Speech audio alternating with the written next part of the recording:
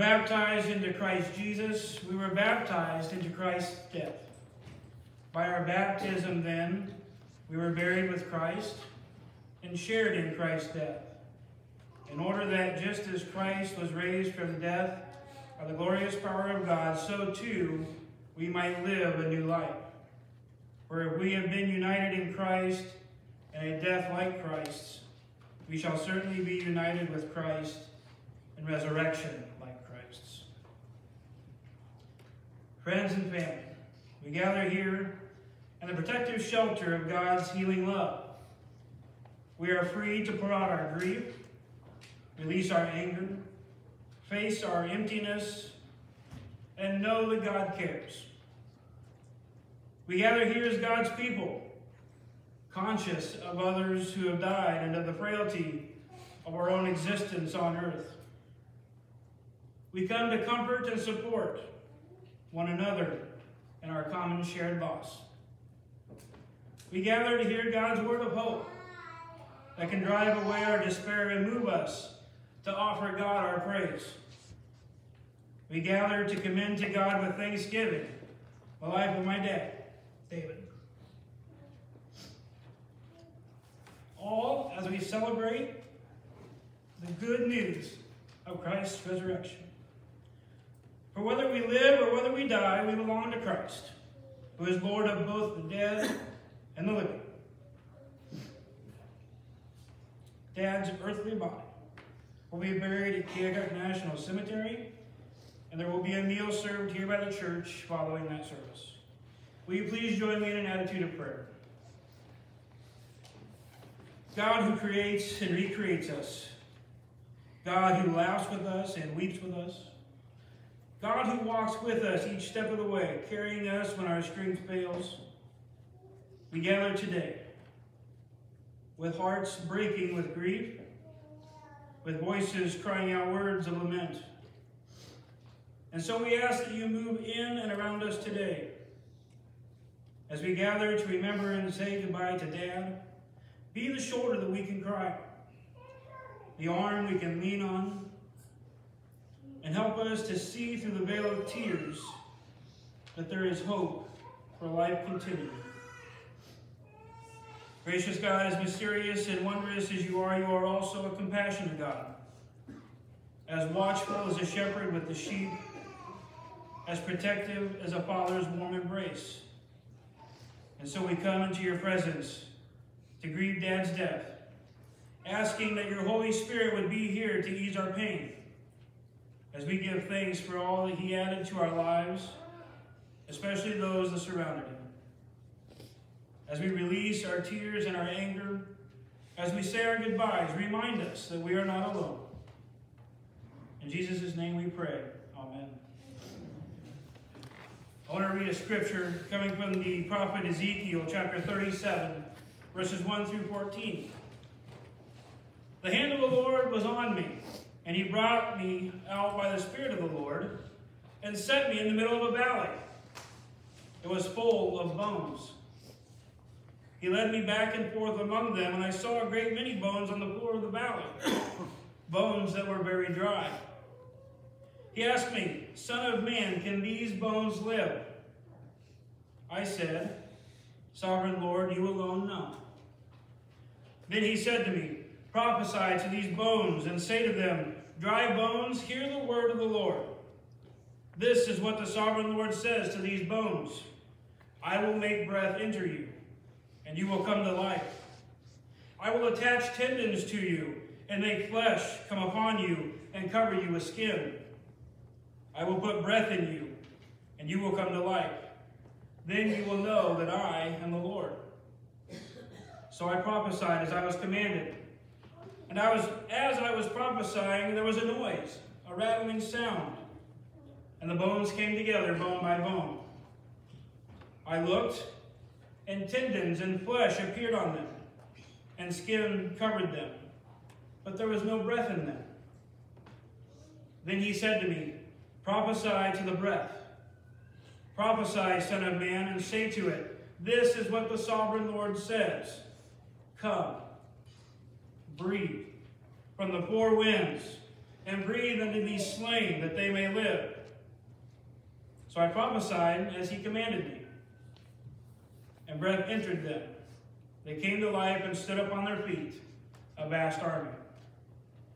Then he said to me, Son of man, these bones are the people of Israel. They say, Our bones are dried up and our hope is gone. We are cut off. Therefore prophesy and say to them, This is what the sovereign Lord says My people, I am going to open your graves and bring you up from them. I will bring you back to the land of Israel. Then you, my people, will know that I am the Lord. When I open your graves and bring you up from them, I will put my spirit in you and you will live, and I will settle you in your own land. Then you will know that I, the Lord, have spoken, and I have done it, declares the Lord. Well, just a couple of weeks ago, my good friend Dave Roth told me that Dad was itching to hear me preach a sermon. I started preaching a little over a year ago in Donelson full time, and Dad had mentioned to Dave about coming up to listen at least once. Well, Dad was never able to make it due to being sick, and today happens to be your lucky day. You get to hear a sermon and a eulogy. And now my brothers and sisters regret letting me officiate. Standing in a valley full of dry, dead human bones is no abstract philosophical encounter with death. God had brought Ezekiel to the grim graveyard as the prophet balanced himself on broken skulls and sharp rib bones. God took him by the hand and led him around as if to make sure that he didn't miss a single bone. Death filled all the senses as Ezekiel surveyed the Grim Reaper's playground. It had been over 10 years since Ezekiel and his family and others had marched off into exile from Judah to Babylon. He watched this whole world and his whole culture unravel under the rule of Babylon. Life in a foreign country, cut off from native culture, religion, and customs, it must have been lonely and a hopeless experience. Yet Ezekiel's role as a prophet was to remind his people that God was still in charge at work. God's voice broke the silence. Mortal, can these bones live? Standing knee deep in dry, white, bleached human bones, Ezekiel is asked this question. As we listen to the scripture reading, there is an audible sense of empty nothingness. A white, bland canvas of despair, covered in colorless paints, and they all fill the scene. For where there is death, there is nothing. There is no smell, no color, no movement, no breath in the place of the hopelessness.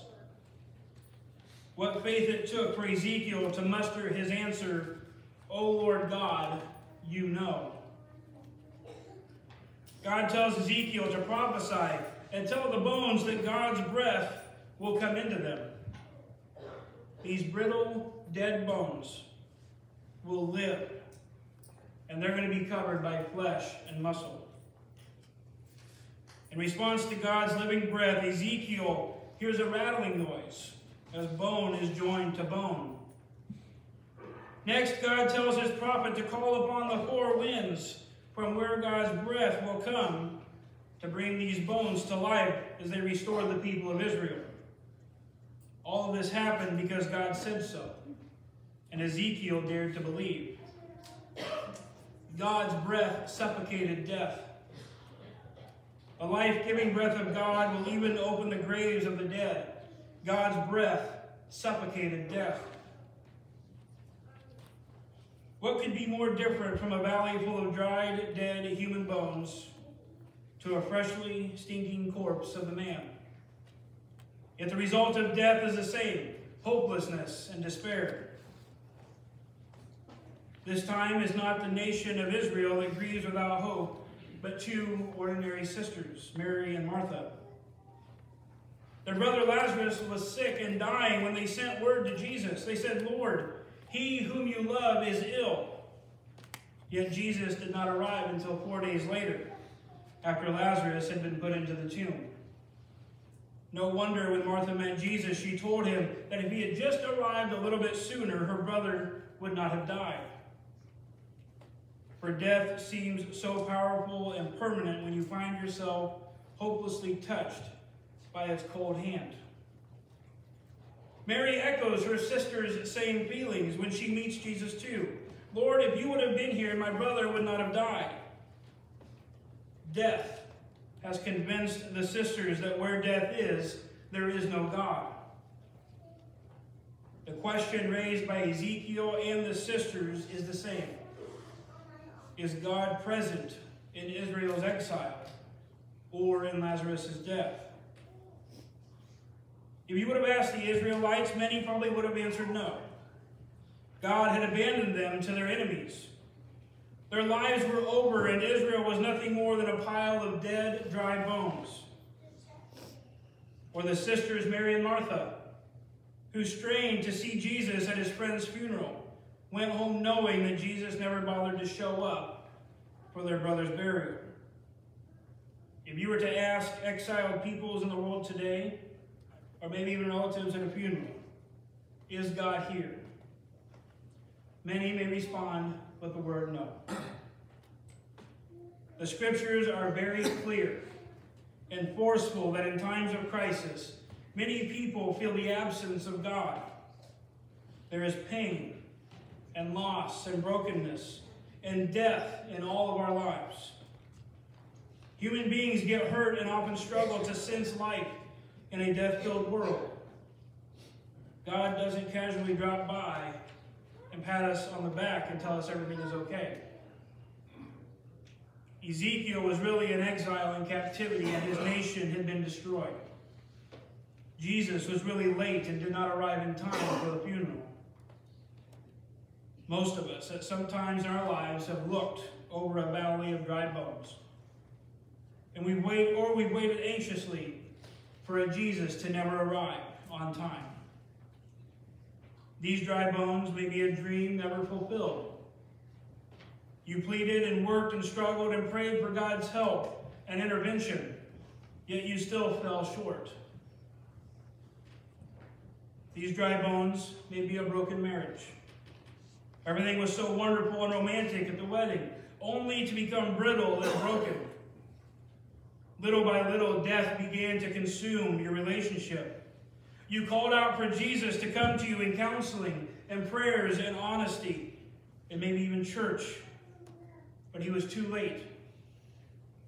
And you walked away from the lawyer's burial service.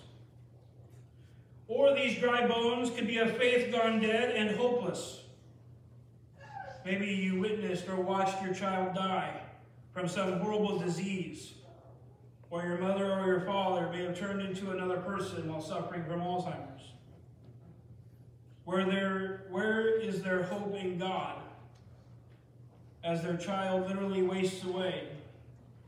Or as you have the same conversation over and over again with your parents who have lost their minds? The scriptures are very concrete in their understanding of hopelessness and despair. But painful as this may be, healing begins when we take a long, hard look at our bones and our own stinking graves. For unless we acknowledge the dry bones of our lives and the stench of death's powerful smell, there will always be an empty rattling in our souls as death laps his way through our lives. But we as Christians proclaim that death has not won, and his laughter will be silenced by the power of hope. God's breath suffocates death. With God's breath, these dry bones will be brought back to life. God will see to it that one day Israel will return to her own land. The people of God will resurrect into a new creation as the new Israel. Thus says the Lord God, I am going to open your graves and bring you up from the graves, O my people, and I will bring you back to the land of Israel. Ezekiel knew and believed that God's breath suffocated death. When Jesus stood at the gravesite of his friend Lazarus, he wept. He too felt the pain of loss and despair. But Christ remembered the promise of his Father to Ezekiel, and you shall know that I am the Lord when I open your graves and bring you up from your graves, O my people. As the Son of God snorted his divine breath through his own nostrils, echoing when the triune God created humanity by breathing life into the nostrils of human beings, Jesus commanded Lazarus to come out. Lazarus began clawing and kicking at the grave dirt as he struggled to step out into the blinding sunlight. Jesus told them to unbind the burial bandages and set Lazarus free.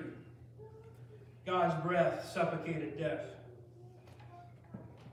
In the book of Romans, Paul reminds us of the good news that we proclaim in the midst of death and despair. But if Christ is in you, through the body is dead because of sin. The spirit is life because of righteousness. And the spirit of him who raised Jesus from the dead dwells in you. He who raised Christ from the dead will give life to your mortal bodies, also through the spirit that dwells in you. The breath of God that raised Jesus from the dead will raise us too. For on that Friday, when Jesus went to the place of dead, dry, bony death, called the skull or Calvary, death thought that it had won again. But Easter morning saw another open grave, and death eternally defeated when Jesus Christ was resurrected and promised his followers to eternal life. The very breath of God in Jesus Christ had suffocated death forever. Today, we mourn the death of my dad, Dave. But this is not the end of the story. For Dad felt the breath of God throughout his life. It began blowing through the waters of his baptism. The Holy Scriptures filled his ears with breath-filled, inspired words from preachers of his past and Sunday school teachers of the past. God's breath inflated the meal gifts of Holy Communion. The prayers of his family and church moved over the still valley of death.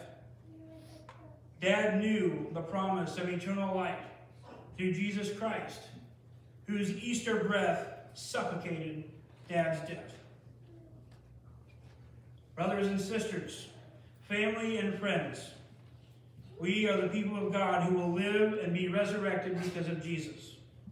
This is the message that we need to share as the body of Christ.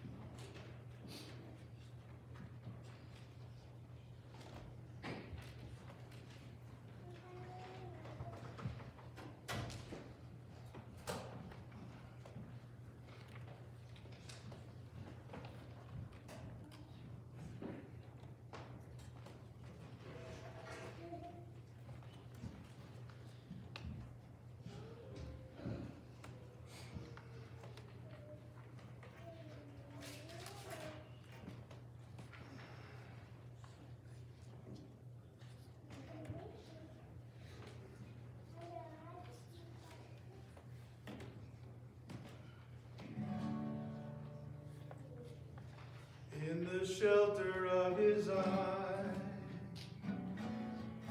I have finally learned my song. Took so long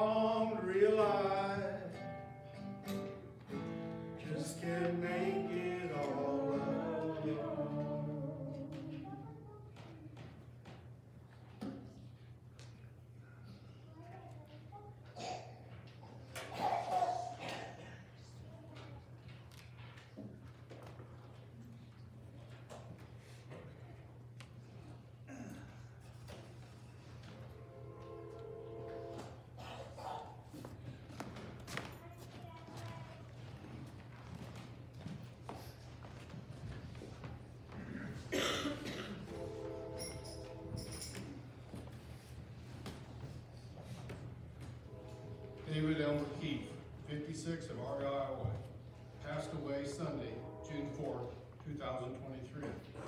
He was born August 23rd, 1966 in Keokuk, Iowa, the son of Byron Francis Alice Catherine Tallman Keefe.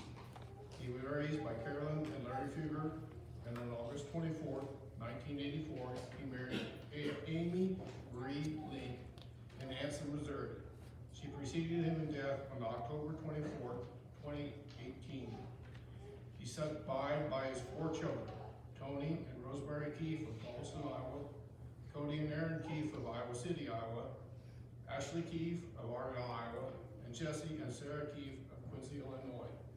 Seven grandchildren, Grace, Elijah, Finley, Ruxin, Chloe, Caden, and Noah. Mother Carolyn Punt, bonus daughter Corin McAdams, sibling Brian and Pamela Keefe, Kurt and Jack, Jacqueline Keefe, Pat Keefe, Mary Edmondson, Susie, Dan, Rick Meyer, Tracy and Oral Krogmeyer, Robin and Jerry Aston, John and Michelle Fugger, and Matt and Heather Fugger. All surviving are surviving nieces, nephews, aunts, uncles, and cousins. He was preceded in death by his wife Amy, parents, stepfather Harold Punt, brother Estelle Brown, Ray Tallman, Mike Keefe, and Chuck Keefe. Dave was a 1985 graduate of Central Lee High School. He served as Iowa National Guard during Desert Storm, served in Honduras and Operation Iraq Iraq Freedom. He was married, he was a member of the Argyle Presbyterian Church and American Legion. Dave was an avid uh, Kansas City Chief fan. He enjoyed fishing, gardening, and hanging out with his grandchildren.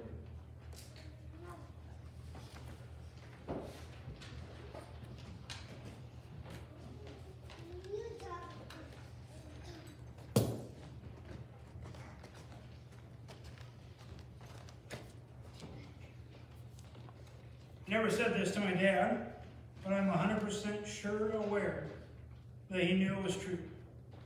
I was very proud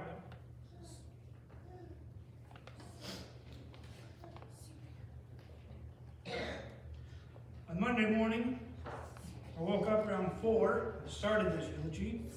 It became clear while I was writing it that mom and dad started their lives pretty early. And I think they started because God had a plan. At a time when most people shrugged off a marriage at such a young age, my parents knew that they were supposed to be together. God brought them together, I believe, because they weren't going to live long lives.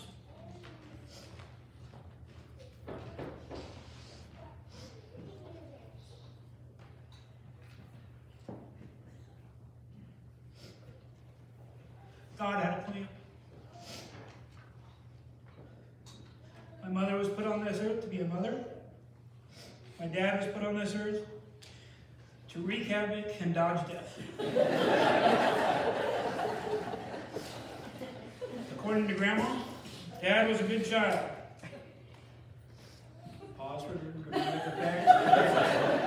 When he was young. For the most part, I think he went to school, unlike some of his other siblings. He knew that he wanted to serve others by joining the Iowa Army National Guard right out of high school. I'm sure at that time he was under the impression that it was one weekend a month, two weeks a year, and when called upon, he had to kick some butt. Seven years after signing up, he got his chance. The 224th Battalion of Engineers were called to active duty to serve in Operation Desert Storm. Unbeknownst to Dad, he was just going to be stationed in Germany, where I'm sure he drank a lot of beer and didn't get to see much action. A few years after that, the Iowa Army National Guard was deployed to Honduras to assist the local government in flood control. He filled sandbags for what I would guess 14 hours a day, and again didn't get to see much action. September 11, 2001. Dad had been out of the Army at that time, and he told Mom that he needed to do something. So he re-enlisted and finally got to see some action. Little did he know that this action would have long-term effects on his life. Not only did he see the worst that humanity had to offer, he also had to live in some of the worst conditions. Those conditions would ultimately have an effect on his quality of life. After returning home, he developed COPD and emphysema, which, is, which was exacerbated from the toxic trash that was burned while stationed in Iraq. Now, he was an avid smoker, and I'm sure that that had something to do with it. But he fought the VA and the U.S. government to provide services for his condition, and he won. My dad was a defier of death. Not only did he survive combat in Iraq, but he also survived combat on the roads of Lee County. He defied death several times. Most recently, he survived being hit by a car while riding his bike right out there on that four-lane highway. The only reason he was on that bike was because he survived instances of driving while intoxicated, but thankfully got picked up by law enforcement at least three times that I know of. He lost consciousness while being rushed to Iowa City for a breathing issues several years ago. By the time mom and I got there, the nurse had called and said, well, we had to do CPR, but we got him back. This cat for sure had nine lives. Now, Scott, thank you for reading the obituary, but I have a different version. He is survived by his four children Tony, the problem solver, and his wife, Rosemary Keefe Donaldson. Cody, the favorite child, and his wife, Erin Keefe of Iowa City. Ashley Keefe, the princess of Argyle, Iowa, and Jesse, the baby, and Sarah Keefe of Quincy. Jesse, the baby. Dad always called Jesse Baby Keefe. We all assumed it was that way because he was always a baby about everything. now, Cody and I always picked on him, and Cody and I would share our toys, and Cody and I would take him to the creek. Wah, wah, wah. Jesse claims he is the baby because he was the last baby that mom and dad needed to be happy. I'm going to go with the fact that you were just a whining baby. Ashley the princess. Ashley could do no wrong. She could yell at the top of her lungs about something. Mom and dad just took it. It didn't matter what she was yelling about, dad would just think, oh, my little princess. Unless I should tell the story about your door getting pulled off the hinges one last time. and Cody the favorite. Now this one, I could spend all day. when I typed out Cody the favorite in this Word document, autocorrect changed it to Cody is my favorite. oh, Microsoft.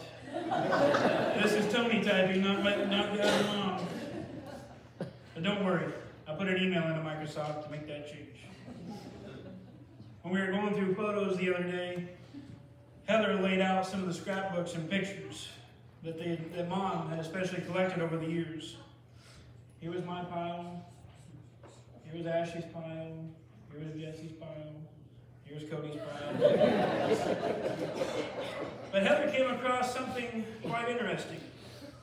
When my dad was stationed in Iraq, several people sent him letters during his deployment. And none of them were ever opened by him. And I can only assume that they weren't opened because he didn't want to be reminded of home because of, because of his choice to serve again. But nonetheless, we hit a treasure trove of information. The first letter I came across was from Mom, and here are the highlights. In reference to a birthday party at Robin's house, she writes, Tracy wasn't there. Sorry, Trace. I guess she got another DUI and has to spend her weekends in jail until she serves her 30 days. I sure hope she learns her lesson this time. End quote. Here was the best quote that I found in that letter. And I, it, it was in there. I got proof. I swear Cody is a total idiot. Didn't it?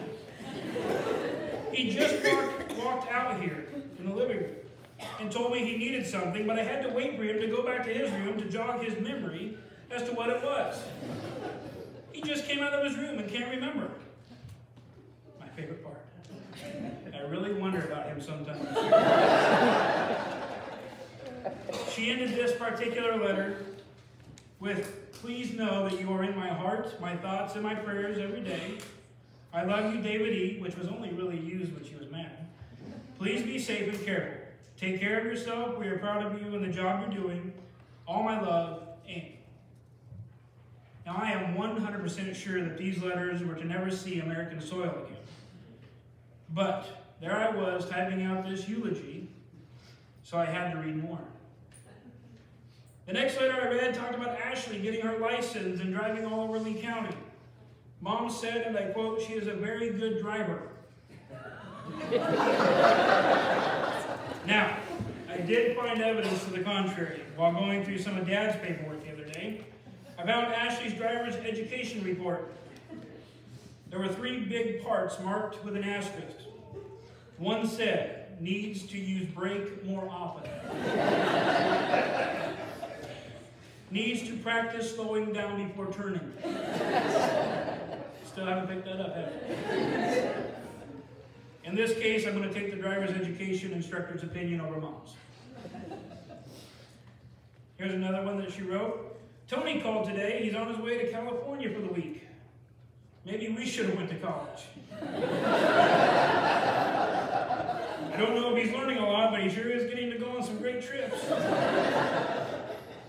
this happened to be the year that Cody graduated high school. The rest of the story does not go too well. Instead of flying with my group to Hawaii that weekend, I flew back to Iowa to attend graduation. And Cody, you owe me a trip to Hawaii. the last time I'm reminding you. Here's another nice one she wrote about Tony. Tony came home last night. He's staying for the weekend. It sure is nice to have him home for a couple days. this was a nice thing of her to say. One thing that was amazing about my dad was his ability to just fix about anything. And if he couldn't fix it, he would build something around it so you wouldn't have to use it in the way that it was designed. My family knows that my track record with cars is not very good. I think I went through three motors in my Chrysler 300. Two, because I thought the oil light that came on was a warning, not that it was too late. I can call dad at any time and say, my car is making a noise and it sounds like wiki, wiki, wiki. and he could diagnose it. My brother-in-law, for the past several years, we would come across a problem with anything with a motor, give the sound that it was making to Dad, and he was pretty straight on with it, with his diagnosis as to what was going on. He tried making his mark in the world of master distilling. Long story short, he found a more expensive way to make gasoline. he started collecting more and more guns over the past couple of years. Don't ask me any questions about them because I have no idea. He followed Chloe all over the state playing softball. I don't think he was too keen on staying in hotels, but loved hanging out with the grandkids. He loved it when they came over, but was happy to see them leave on most days. Him and Elijah seemed to have mastered the mumbling between each other. He was absolutely thrilled that Caden enjoyed the Kansas City Chiefs as much as he did. And last season, they were able to make it to a game together in Kansas City.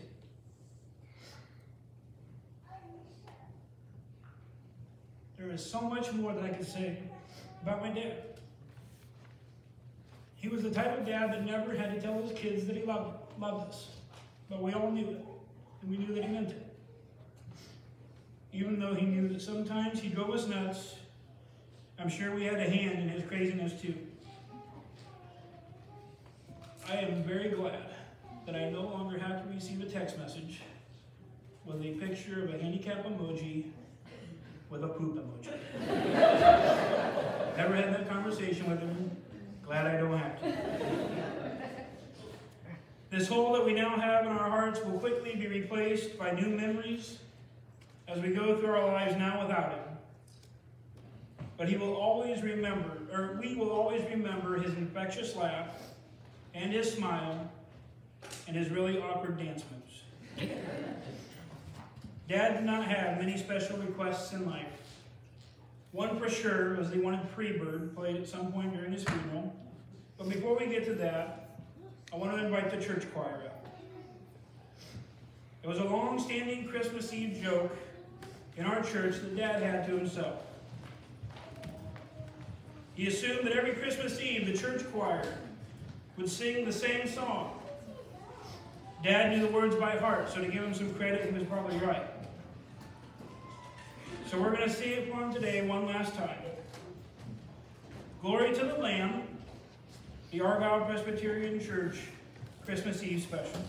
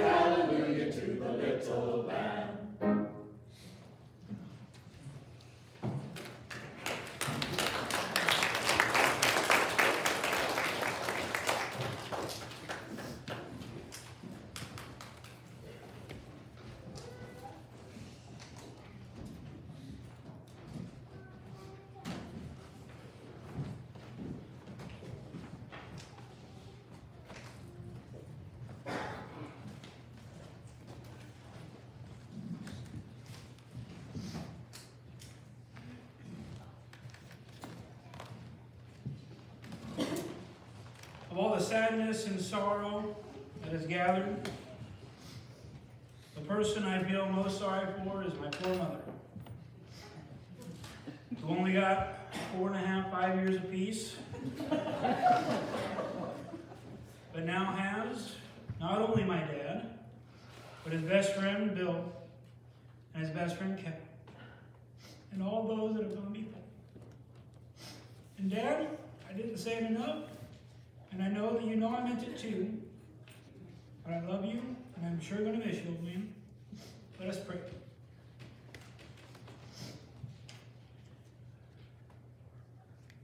O God, our strength and our Redeemer, giver of life and conqueror of death, we praise you now with humble hearts.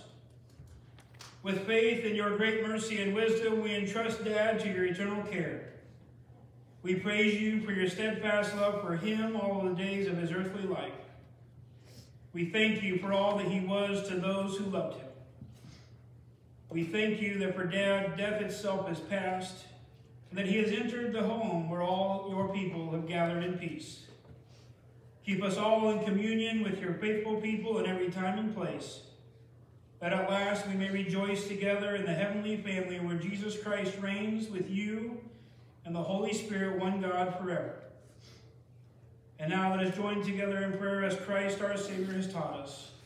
Our Father, who art in heaven, hallowed be thy name. Thy kingdom come, thy will be done, on earth as it is in heaven.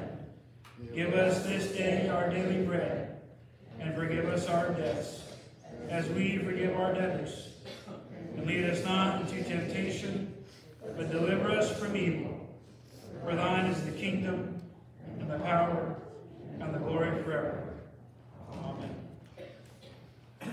Into your hand, O merciful Savior, we commend your servant David. Acknowledge, we humbly pray, a sheep of your own fold, a lamb of your own flock, and a son of your own redeeming.